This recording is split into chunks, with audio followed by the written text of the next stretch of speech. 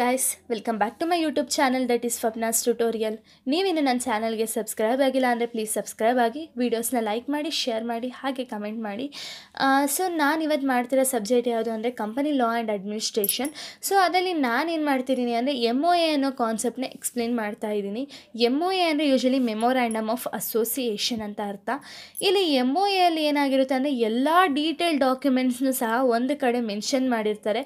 ಈ ಒಂದು M O A ಯಾಕೆ ಪ್ರಿಪೇರ್ ಮಾಡ್ತಾರೆ ಅಂದರೆ ಯೂಶಲಿ ಈ ಎಂ ಒ ಎ ಒಂದು ಪ್ರಿಪೇರ್ ಮಾಡೋದ್ರಿಂದ ಒಂದು ಕಂಪನಿಗೆ ಒಂದು ಗುಡ್ ರಿಲೇಷನ್ಶಿಪ್ ಸಿಗುತ್ತೆ. ಕಂಪನಿ ಮತ್ತು ಕಂಪನಿ ಮತ್ತು ಔಟ್ಸೈಡರ್ಸ್ ಯಾರೆಲ್ಲ ಇರ್ತಾರೋ ಅವರ ಒಂದು ಜೊತೆ ಒಂದು ಗುಡ್ ರಿಲೇಷನ್ಶಿಪ್ ಮೇಂಟೈನ್ ಮಾಡೋಕ್ಕೆ ಈ ಒಂದು ಎಂ ಒ ಎ ತುಂಬ ಹೆಲ್ಪ್ ಮಾಡುತ್ತೆ.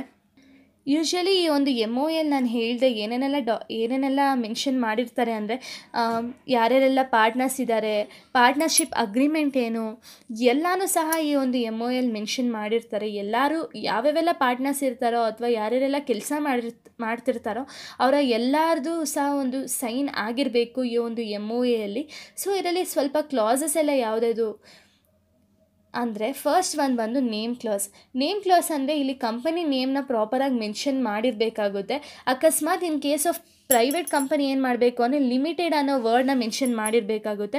ಅಕಸ್ಮಾತ್ ಏನಾದ್ರು ಪಬ್ಲಿಕ್ ಕಂಪನಿ ಆಗಿತ್ತು ಅಂದರೆ ಲಿಮಿಟೆಡ್ ಅನ್ನೋ ವರ್ಡ್ನ ಮೆನ್ಷನ್ ಮಾಡಲೂಬೋದು ಅಥವಾ ಮಾಡೋದಿಲ್ಲ ಅಂದ್ರೂ ಏನು ಇಶ್ಯೂ ಆಗೋಲ್ಲ. ಹಾಗೆ ನೇಮ್ ಏನಾಗಿರಬೇಕು ಅಂದರೆ ಯಾರದೇ ಅವರ ಒಂದು ಕಂಪನಿ ನೇಮ್ ಓನ್ ನೇಮೇ ಮೆನ್ಷನ್ ಮಾಡಿರಬೇಕಾಗುತ್ತೆ.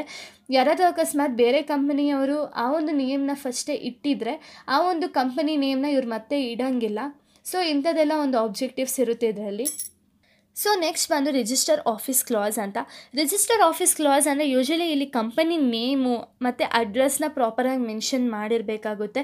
ಎಲ್ಲಿ ಆ ಒಂದು ಕಂಪನಿ ಲೊಕೇಟ್ ಆಗಿದೆಯೋ ಆ ಒಂದು ಕಂಪನಿ ಅಡ್ರೆಸ್ನ ಇವರು ಪ್ರಾಪರಾಗಿ ಮೆನ್ಷನ್ ಮಾಡಲೇಬೇಕು. ಅಕಸ್ಮಾತ್ ನಮ್ಗೆ ಏನಾದ್ರು ಮುಂದಕ್ಕೆ ಆ ಕಂಪನಿ ನೇಮ್ ಏನಾದ್ರು ಒಂದು ಅಡ್ರೆಸ್ ಏನಾದ್ರು ಸೆಟ್ ಆಗಿಲ್ಲ ಅಂದರೆ ನಾವು ಬೇರೆ ಅಡ್ರೆಸ್ನ ಚೇಂಜ್ ಮಾಡ್ಬೋದು. ಬಟ್ ಈ ಒಂದು ಎಂ ಒ ಎನನ್ನು ಪ್ರಿಪೇರ್ ಮಾಡಬೇಕು ಅಂದರೆ ನಾವು ಯೂಶಲಿ ಪ್ರಾಪರಾಗಿ ಅಡ್ರೆಸ್ಸನ್ನು ಮೆನ್ಷನ್ ಮಾಡ್ತಾ ಹೋಗಬೇಕಾಗುತ್ತೆ. ಸೊ ನೆಕ್ಸ್ಟ್ ಬಂದು ಆಬ್ಜೆಕ್ಟ್ ಕ್ಲಾಸ್ ಆಬ್ಜೆಕ್ಟ್ ಕ್ಲಾಸ್ ಅಂದರೆ ಏನು, ಏನಿದೆ? ಕಂಪನಿ ಆಬ್ಜೆಕ್ಟ್ ಏನಿದೆ ಹಾಗೆ ಕಂಪನಿ ಏಮ್ ಏನಿದೆ ಅಂತ ಹೇಳಿ ಪ್ರಾಪರಾಗಿ ಮೆನ್ಷನ್ ಮಾಡಬೇಕಾಗುತ್ತೆ. ಒಂದು ಕಂಪನಿ ಸ್ಟಾರ್ಟ್ ಮಾಡಿರೋ ಉದ್ದೇಶ ಏನು? ಆ ಒಂದು ಕಂಪನಿ ಏನೋ ಒಂದು ಬೇಸಿಸ್ ಮೇಲೆ ಪ್ರೊಡಕ್ಷನ್ ಆ್ಯಕ್ಟಿವಿಟೀಸ್ನ ಕೈಗೊಳ್ತಿದೆ ಅಂತ ಹೇಳಿ ಆಬ್ಜೆಕ್ಟ್ ಕ್ಲಾಸಲ್ಲಿ ನಾವು ಪ್ರಾಪರಾಗಿ ಮೆನ್ಷನ್ ಮಾಡಬೇಕು. ನೆಕ್ಸ್ಟ್ ಬಂದು ಲ್ಯಾಬಿಲಿಟೀಸ್ ಕ್ಲಾಸ್ ಲ್ಯಾಬಿಲಿಟೀಸ್ ಕ್ಲಾಸ್ ಅಂದರೆ ಇಲ್ಲಿ ಯೂಶಲಿ ಇಲ್ಲಿ ಕಂಪನಿ ಲ್ಯಾಬ್ ಲ್ಯಾಬಿಲಿಟಿ ಏನಿದೆ? ಅಂದರೆ ಇದು ಲಿಮಿಟೆಡ್ ಲ್ಯಾಬಿಲಿಟಿನ ಅಥವಾ ಅನ್ಲಿಮಿಟೆಡ್ ಲ್ಯಾಬಿಲಿಟಿನ ಅಂತ ಹೇಳಿ ಪ್ರಾಪರಾಗಿ ಮೆನ್ಷನ್ ಮಾಡಬೇಕು. ನೆಕ್ಸ್ಟ್ ಬಂದು ಕ್ಯಾಪಿಟಲ್ ಕ್ಲಾಸ್ ಕ್ಯಾಪಿಟಲ್ ಕ್ಲಾಸ್ ಅಂದರೆ ಕ್ಯಾಪಿಟಲ್ ರಿಲೇಟೆಡ್ ಏನೇನೆಲ್ಲ ಇನ್ಫಾರ್ಮೇಷನ್ ಇದೆಯೋ ಅಂದರೆ ಇದು ಯಾವೊಂದು ಶೇರ್ಸು ಇಕ್ವಿಟಿ ಶೇರ್ಸಾ ಅಥವಾ ಪ್ರಿಫರೆನ್ಸ್ ಶೇರ್ಸಾ ಎಲ್ಲನೂ ಸಹ ಒಂದು ಪ್ರಾಪರಾಗಿ ಮೆನ್ಷನ್ ಮಾಡಿರಬೇಕಾಗುತ್ತೆ ಕ್ಯಾಪಿಟಲ್ ಕ್ಲಾಸಲ್ಲಿ ನೆಕ್ಸ್ಟ್ ಬಂದು ಅಸೋಸಿಯೇಷನ್ ಅಸೋಸಿಯೇಷನ್ ಅಂದರೆ ಎಂ ಒ ಎನಲ್ಲಿ ಎಷ್ಟು ಜನ ಮೆಂಬರ್ಸ್ ಇರ್ತಾರೋ ಅವ್ರದ್ದು ಎಲ್ಲನೂ ಸಹ ಒಂದು ಸೈನ್ ಆಗಿರ್ಬೋದು.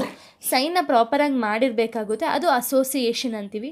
ಸೊ ಇಷ್ಟು ಒಂದು ಕ್ಲಾಸಸ್ ಇದೆ ಎಂ ಒ ಎಲ್ಲಿ ನೆಕ್ಸ್ಟ್ ಬಂದು A O A A O A ಅಂದರೆ ಆರ್ಟಿಕಲ್ಸ್ ಆಫ್ ಅಸೋಸಿಯೇಷನ್ಸ್ ಅಂತ ಅರ್ಥ. ಸೊ ಈ ಒಂದು ಎ ಒ ಎ ಅಂದರೆ ಏನು ಅಂದರೆ ಯೂಶ್ವಲಿ ಎ ಒ ಎ ಅಂದರೆ ಇಂಟರ್ನಲ್ ಆ್ಯಕ್ಟಿವಿಟೀಸ್ ಏನೇನೆಲ್ಲ ಇದೆಯೋ ಅಥವಾ ಇಂಟರ್ನಲ್ ರೆಗ್ಯುಲೇಷನ್ಸ್ ಏನೇನೆಲ್ಲ ಇದೆಯೋ ಎಲ್ಲದ್ರ ಬಗ್ಗೆ ಈ ಒಂದು ಎ ಒ ಎಲ್ಲಿ ಮೆನ್ಷನ್ ಮಾಡಿರ್ತಾರೆ. ಇದನ್ನು ಕಂಟ್ರೋಲ್ ಮಾಡೋದು ಬಂದು ಎಂ ಒ ಎ ಕಂಟ್ರೋಲ್ ಮಾಡ್ತಾ ಹೋಗುತ್ತೆ. ಇಲ್ಲಿ ಯೂಶ್ವಲಿ ಯಾವುದ್ರ ಬೇಸಿಸ್ ಮೇಲೆ ಇಲ್ಲಿ ಮೆನ್ಷನ್ ಮಾಡಿರ್ತಾರೆ ಅಂದರೆ ಒಂದು ಕಂಪನಿ ಹೇಗೆ ಅವರ ಆಬ್ಜೆಕ್ಟಿವ್ಸ್ ಒಂದು ಕಂಪನಿ ಹೇಗೆ ಆಬ್ಜೆಕ್ಟಿವ್ಸ್ನ ಅಚೀವ್ ಮಾಡಬೇಕು ಅಂತ ಹೇಳಿ ಈ ಒಂದು ಎ ಒ ಎಲ್ಲಿ ಮೆನ್ಷನ್ ಮಾಡಿರ್ತಾರೆ. ಸೊ ಎಲ್ಲ ಆಬ್ಜೆಕ್ಟಿವ್ಸ್ ಎಲ್ಲನೂ ಸಹ ಈ ಒಂದು ಎ ಒ ಎಲ್ಲಿ ಮೆನ್ಷನ್ ಮಾಡಿರ್ತಾರೆ. ಅಕಸ್ಮಾತ್ ಟೇಬಲ್ ಎ ಏನಾದರೂ ಅಡಾಪ್ಟ್ ಮಾಡಿದರೆ ಈ ಒಂದು ಎ ಒ ಎ ಪ್ರಿಪೇರ್ ಮಾಡೋ ಅವಶ್ಯಕತೆ ಇರಲ್ಲ. ಟೇಬಲ್ ಎ ಏನಾದರೂ ಅಪಾಯಿಂಟ್ ಅಡಾಪ್ಟ್ ಮಾಡಿಲ್ಲ ಅಂದರೆ ಮಾತ್ರ ಈ ಒಂದು ಎ ಒ ಎನ ಪ್ರಿಪೇರ್ ಮಾಡಲೇಬೇಕಾಗುತ್ತೆ. ಏನೇನೆಲ್ಲ ಕಂಟೆಂಟ್ಸ್ನ ಮೆನ್ಷನ್ ಮಾಡಿರ್ತಾರೆ ಅಂದರೆ rights of share holders share ಹೋಲ್ಡರ್ಸ್ಗೆ ಏನೇನೆಲ್ಲ ರೈಟ್ಸ್ ಕೊಟ್ಟಿದ್ದಾರೆ ಅಂತ ಹೇಳಿ ಇಲ್ಲಿ ಮೆನ್ಷನ್ ಮಾಡ್ತಾರೆ. ನೆಕ್ಸ್ಟ್ ಬಂದು ಮಿನಿಮಮ್ ಸಬ್ಸ್ಕ್ರಿಪ್ಷನ್ ಮಿನಿಮಮ್ ಸಬ್ಸ್ಕ್ರಿಪ್ಷನ್ ಅಂದರೆ ಒಂದು ಕಂಪನಿ ಎಷ್ಟು ಸಬ್ಸ್ಕ್ರಿಪ್ಷನ್ ಮಾಡ್ಕೋಬೇಕು.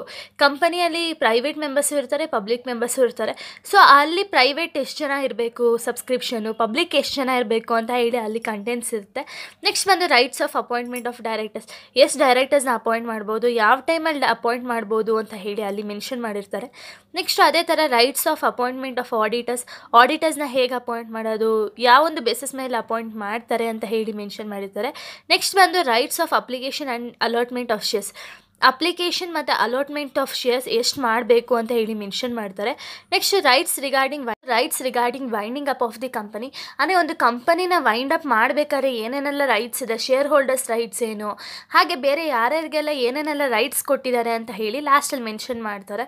ಸೊ ಇಷ್ಟು ಆರ್ಟಿಕಲ್ಸ್ ಆಫ್ ಅಸೋಸಿಯೇಷನ್ ಮತ್ತು ಮೆಮೊರಾಂಡಮ್ ಆಫ್ ಅಸೋಸಿಯೇಷನ್ಸ್ ಆಗಿದೆ. So thank you guys thanks for watching